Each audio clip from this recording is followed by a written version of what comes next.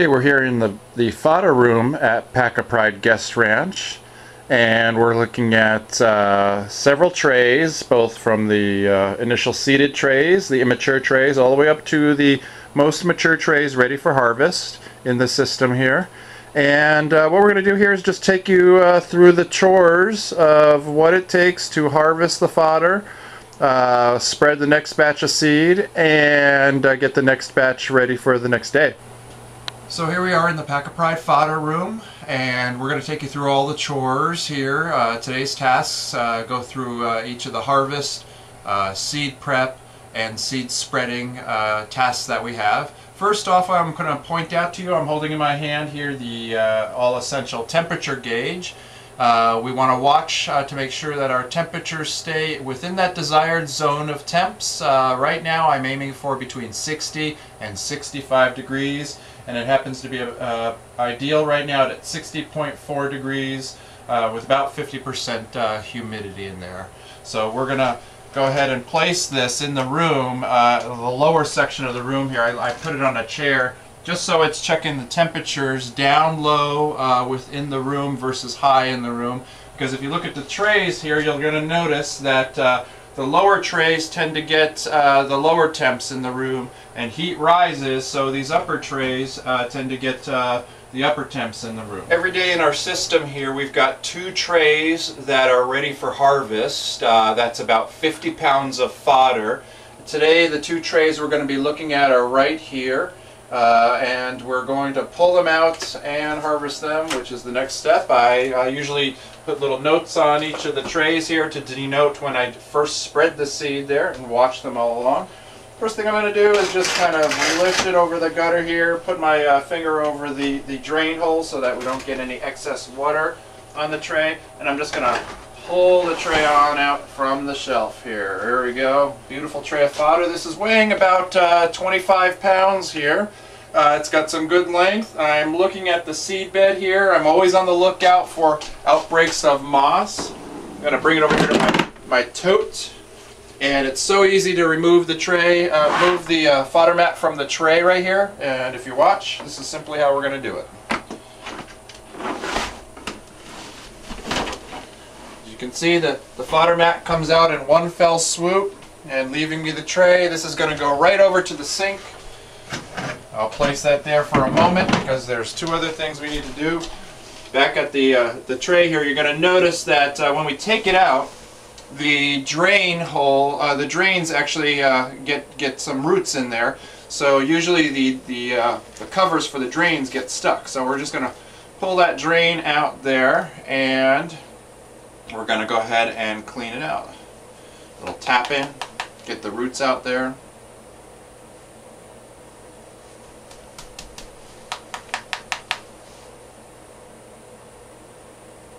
There we go. There's one. One drain cap there, and I'll rinse this out, and get all those little parts out there as well. And the second part is the overflow drain. There we go. Those are the two drain caps there. Back over at the sink, we're going to now, next up, wash our trays.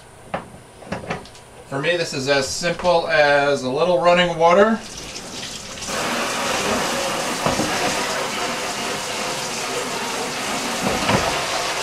Rinsing the tray down here, and I'll try to do this so that you can see it. Quick rinse of the tray, a little focus on the, uh, the drains there. If necessary, I can do the back part of that drain as well. Once I get a good rinse of the tray, inside I'm also looking for slimy areas where some fermentation may have occurred. If that's the case, I might need to scrub this tray a little bit more. Uh, in this instance, the, uh, the mat grew really well, so uh, all I need to do is just do a quick rinse of the tray. Next up I'm going to take a spray bottle here. Uh, this is loaded with Simple Green. It's a non-toxic uh, cleanser, degreaser and such. I also have another spray bottle that uh, may have a chlorine bleach solution if I need to sanitize the tray. Uh, all I'm going to do here is just kind of spray the Simple Green in the tray.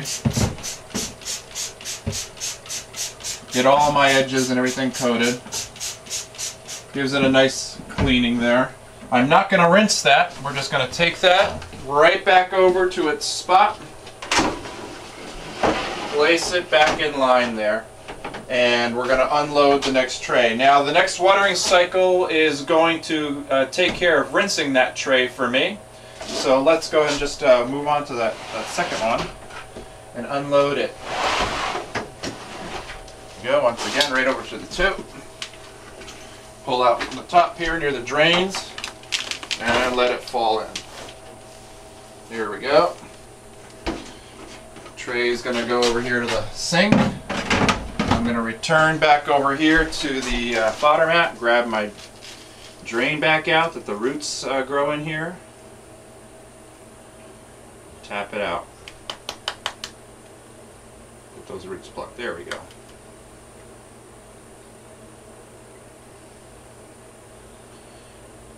So again, I will uh, go back here, rinse that tray out, and uh, rinse that tray out, spray it, and then reset it in the system.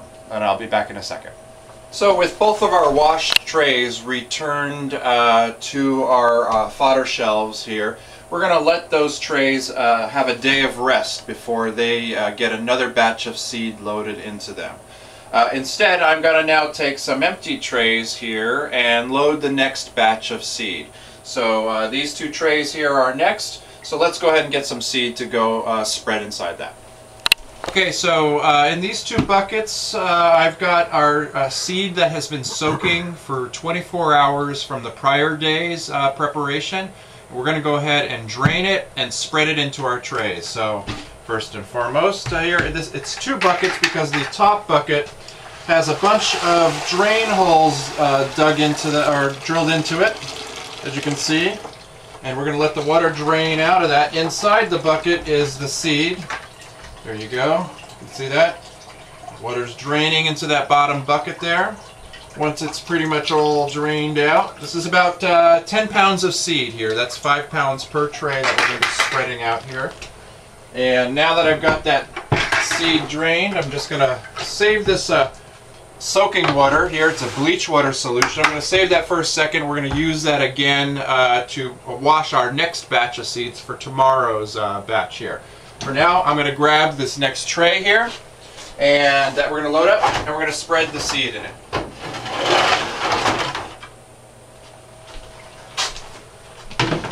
Alright, quite simply all we're doing here is dividing that soaked seed in half and my handy uh, measured high-tech scoops here I know that I need three scoops of this to accurately get half of that batch. There we go. And once I've got my three scoops in the tray, a little shaking, should be enough to spread around that seed evenly into the tray so that what I end up with is a tray spread with uh, a fairly even coated uh, layer of seed, a layer of grain down there. And then again, now we go back to its shelf. We put it in its spot. And we're going to do the same for the next tray here. Take it. This instance here, I don't need to measure it out. That's the other half here, so I'm just going to simply turn the bucket over. Give it a little tap. You can see the drain holes on the bottom of that bucket there. We'll use that again. There we go. And again, another shake. Spread that around.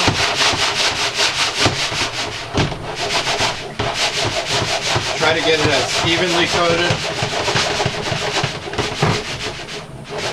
in the tray as possible.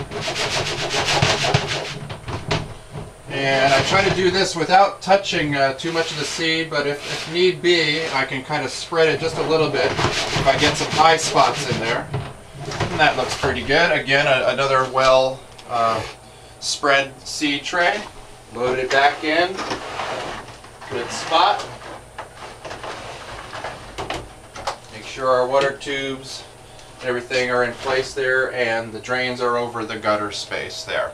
Okay, so that's uh, spreading the next batch of seed there. So now we're going to move on to preparing tomorrow's uh, batch of seed uh, in the drain buckets there. Okay, here we are with that uh, the the wash water or the, the soak water from the previous day's uh, soaking of seed here. I'm going to reuse this to wash the next batch of seed. And I have two buckets here of uh, barley sitting in weight. I've got my uh, a pre-measured scoop here that tells me up to the line is two pounds of seed. We're going to go one, two, three, four, and five. That makes 10 pounds of seed now in the wash water here. And all I'm going to do is we're going to take a, uh, a ladle with a strainer. We're going to give it a good stir. This is going to remove all the dirt uh, and uh, allow the chaff, any dead bugs. Uh, this is field run barley, so it tends to be dirtier. It's going to allow all that to rise to the top. What also is going to rise to the top is any unviable seed. Good seeds sink to the bottom. Bad seeds that uh, won't generally sprout are going to float to the top. I'm going to skim them off, tap them into a little catch container here. Any of that debris, extra seeds, chaff, uh, just take this outside, tap it out in front of the chickens, and they tend to love that little extra stuff there. Okay, so that's as simple as washing this seed here. Now what we're going to do is take our drain bucket, it's the one with all those holes in there, and we're going to transfer it, the, the wash seed, right into that bucket. I'm going to give this bucket a little rinse to get the rest of that seed out there.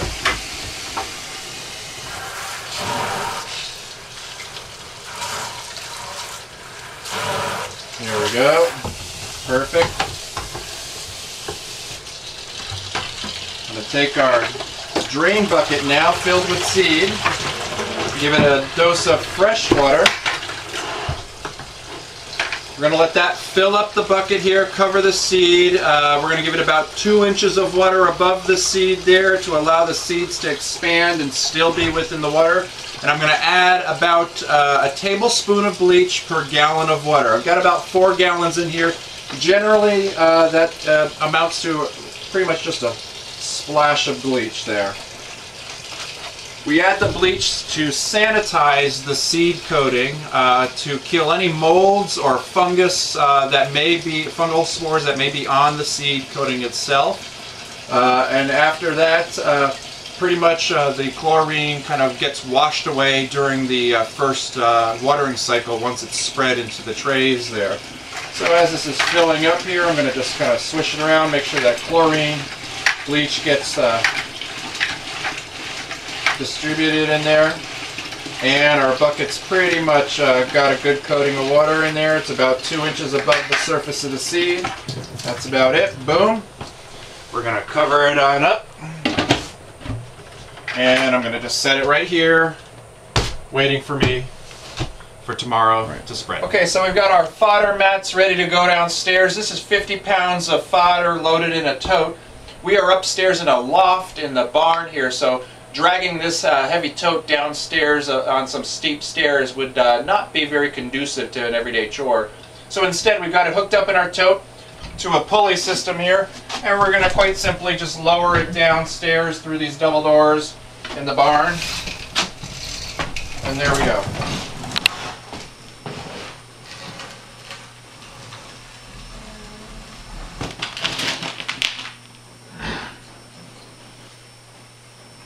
So I'm going to go downstairs, untie that, pull the rope up, uh, close the door here. Uh, the beauty of this is uh, every day when I come into the fodder room, I'm getting fresh air into the room every time I open these doors. Okay, we're back down here in the barn with our fodder. It's pretty much ready to go out to the animals. One last thing we're going to do before we actually take it out to the hay feeders out there with them is we're going to add something to the tops of these fodder mats. We're going to top dress each of the fodder mats with a nice dosing of diatomaceous earth.